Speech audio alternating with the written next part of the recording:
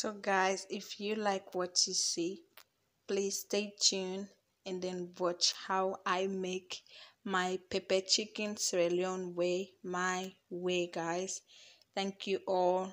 Please kindly be patient and let's get into the video hello guys. Hello hello. It's your girl Julianna and I'm back again with another exciting video for you guys. So in today's video I'll be doing some pepper chicken Sierra Leone way my way. So with no further ado let's get straight into the video. So guys I'll take you straight away to our ingredients.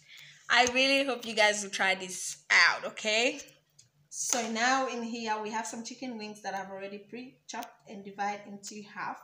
So I've seasoned this with some chicken season. This is from the packet that I've just emptied into another container. And I also use some pepper, cayenne pepper, and I use my blue oopsie i was just going to drop that and i use my blue season for that and into the fire i have my pot already on the stove here. So my oil is pretty hot at this stage because i'm going to be frying the chicken. So i'll just do that right now and then take us to introduce us to more of our ingredient. So guys stay tuned. I just need to put in my chicken so you guys can see that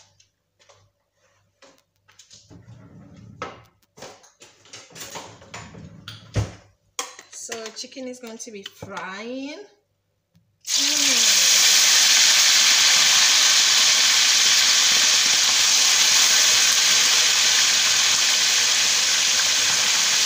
Vegetable oil by the way guys. I'm using some vegetable oil.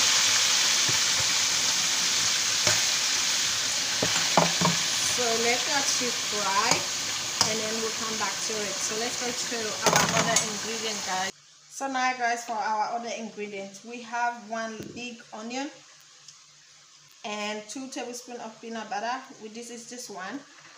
And then I have one and a half um, capsicum, one tomato, some black pepper, one tablespoon, and one tablespoon of common as well.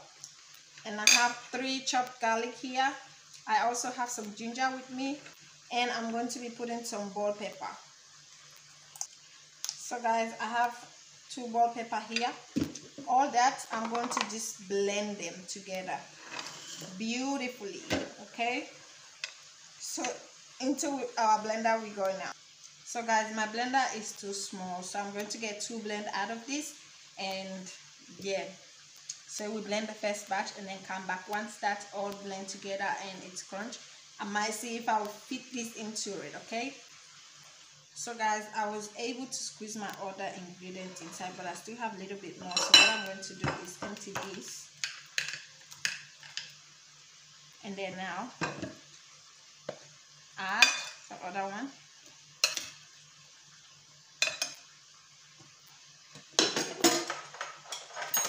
And then add in my other tablespoon of peanut butter so I'm just going to scoop this and that should do it.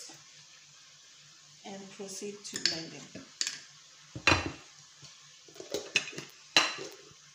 So this is what we have. I'm just going to empty this in here.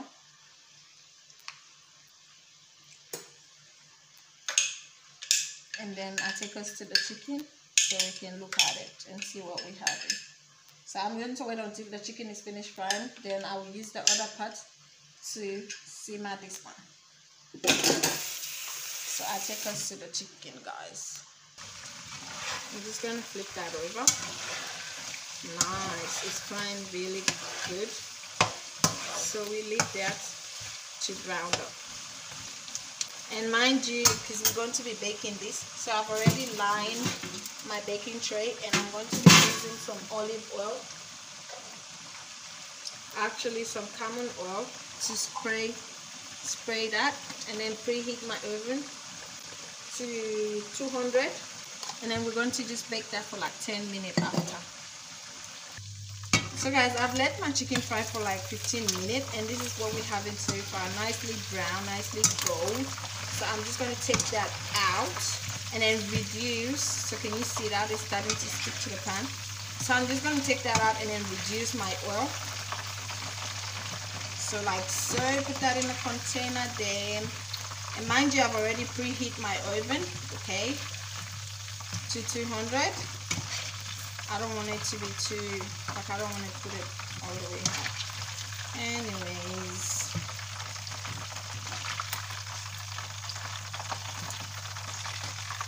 So this is not too much. We're not going to make too much with the chicken, by the way. We're not going to make too much. Put that away. And now reduce the oil.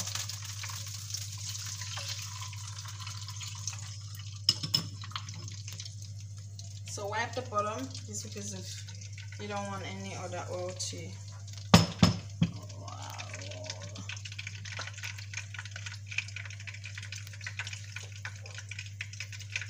so now I'm just going to go in with my pepper mix into that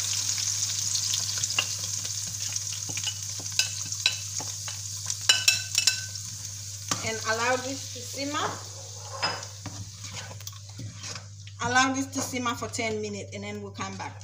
So, but you have to keep watching this because you don't want it to burn or stick to the pan. So you have to keep your eye on this for the 10 minutes okay guys? We'll come back with after 10 minutes and look.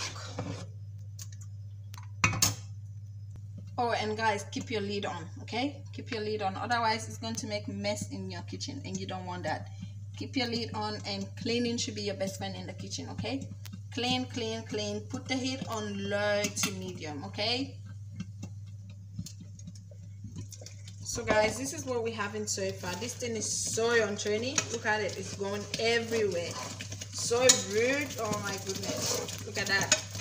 So I'm just quickly going to put the lid back on. I'm so scared right now. You guys?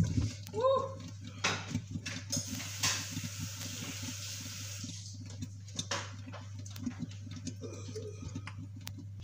So guys, I went ahead and removed the lid and add a little bit more of oil into that. I will wait until it simmer before I come back in with my seasoning. So guys, I'm back. I'm going to put Italian herbs Italian herbs into this half a tablespoon just because this is pepper chicken we need all the spice in it so I'm going to go with half teaspoon of curry powder like so. I don't know if you guys can see it.